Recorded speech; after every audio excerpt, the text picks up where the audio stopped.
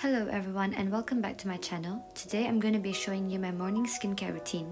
I used to have really problematic skin so I did a lot of research to find out what works best. So I start off by using the AHA and BHA toner from Cosrx that helps improve my skin tone and texture.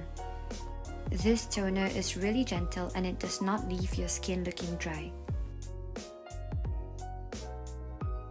Next, I go in with the Ordinary's Niacinamide 10% and Zinc 1%. I've been using this product for over a year now and it has significantly helped reduce my acne scars. And it has helped decrease the sebum production on my skin. To keep my skin hydrated, I use the Advanced Snail 96 Essence from Cosrx. This essence contains snail secretion that helps protect the skin from moisture loss.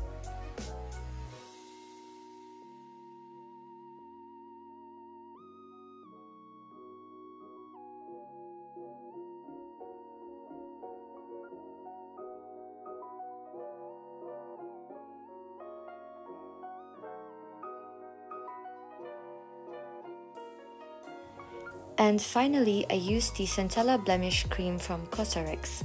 The zinc oxide and centella extract in the cream help normalize the sebum production by calming down problematic areas and clearing the pores. This prevents further breakouts and loss of moisture. As you can see, I try to massage my skin in an upward direction when applying the products. This is said to improve the skin's absorption of the products. For the sunblock, I'm using the Aloe Soothing Sunscreen with SPF 50 from Cosrx. Although this product contains a bit of fragrance, I really like it because it gives my skin a poreless finish and does not leave it looking greasy.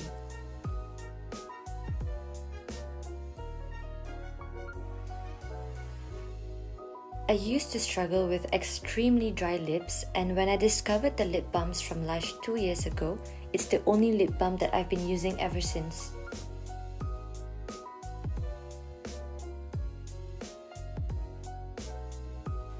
So that is all for my morning skincare routine.